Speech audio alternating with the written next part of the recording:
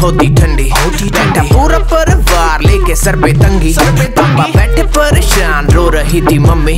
कहते बेटी को बुलाओ तुम नीचे जल्दी। साथ बैठे बुआ दादा और चाचा चाची। कहते पागल होती जा रही है कुड़ी साडी। जब भी शादी की हाँ बात करो टालती है।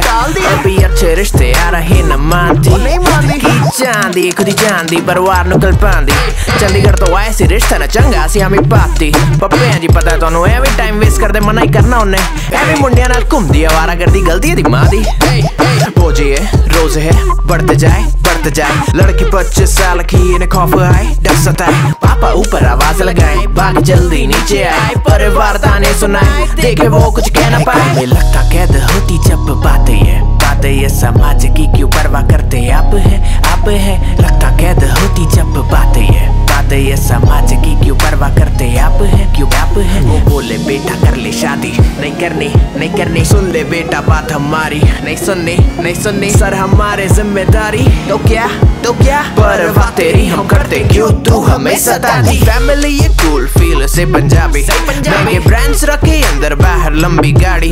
बाकी चीज़ों में विचार धारा मॉडर्न बहुत। इस चीज़ में ही थोड़ी बस कमी आती। कमी आती लड़की जॉब करे, नहीं इनको राज़ी।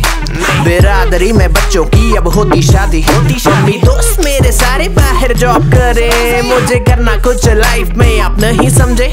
सुन ਇੱਥੇ ਆ ਕੇ ਮੇਰੀ ਗੱਲ ਸੁਣ ਵਿਆਹ ਦੇ ਬਾਤ ਕਰੀ ਹੁਣ ਜੋ ਕਰਨਾ ਹਰ ਚੀਜ਼ ਦਾ ਟਾਈਮ ਹੁੰਦਾ ਨਾ ਇਹਨਾਂ ਤੈਨੂੰ ਸਮਝਣਾ ਦਾਦੇ ਨੂੰ ਟੈਨਸ਼ਨ ਹੁੰਦੀ ਹੈ ਕੁੜੀ ਦਾ ਵਿਆਹ ਦੇਖਣਾ ਤੈਨੂੰ ਇੱਥੇ ਆਪਣੀ ਪਈ ਦਿਮਾਗ ਖਰਾਬ ਕੀਤਾ ਮੈਂ ਚਪੇੜ ਛੱਡਣਾ मैनिपुलेशन घर पे घर वाले और बस बढ़ के एस्केलेट ये होता जाए कहाँ जाके सर वो पटके थोड़ा टाइम दे दो आप शादी करूंगी मन से सुन के ये सब है चलाए वो जाए ऊपर तक बस में लगता कैद होती जब बातें ये बातें ये समाज की क्यों परवाह करते आप है आप है लगता कैद होती जब बातें ये बातें ये समाज की क्यों परवाह करते आप है, क्यों आप है? वो बोले, बेटा, कर ले शादी। नहीं करनी नहीं करनी। सुन ले बेटा, बात हमारी। नहीं सुननी नहीं सुननी। सर, हमारे ज़िम्मेदारी। तो क्या तो क्या? परवाह तेरी हम करते, क्यों तू हमें सताती?